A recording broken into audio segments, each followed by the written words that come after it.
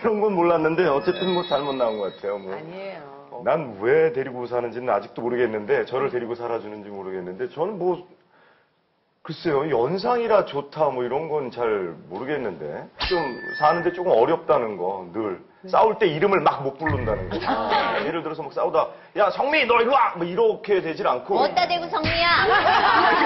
그렇게 되는 거죠. 반말을 하거나 욕을 하거나 막말을 해본 적은 한 번도 없는데 다투다가 뭐라 그래서 제가 승기를 확 내면 갑자기 그 말은 해요. 어디다 대고 그 말을 해. 그러면 거기서 상황 끝이에요. 그냥. 어디다 대고 그게 끝나는 거예요. 아니, 그러니까 그 말은 해요. 불리할 때는 여보, 여보. 당신 중학교 때 나 대학생이었어요. 그러면 이제 좀 정리가 되고. 여자가 나이가 많은 며느리는 남자를 자꾸 살아. 그 한두 살 연하래도 그런 것들은 연하, 연하들은 남편들한테 고분고분하잖아 언니 얘기 말 맞잖아. 그런데 한 살이라도 위면은 얘들 감노릇을 한다니까. 아, 선배님이니까 선배님이 이렇게 해야 되는 거 아니에요? 그건 이제 저희 어머님이 그렇게 했었죠. 어. 결혼하고 저희 어머님이 어려우니까 아무래도 며느리인데도 얘 이거 처음에 안 되고 처음에 선배니까. 정 선배 이렇게. 어머니. 저희 어머니가 한동안 얘 저기 정 선배야 이렇게.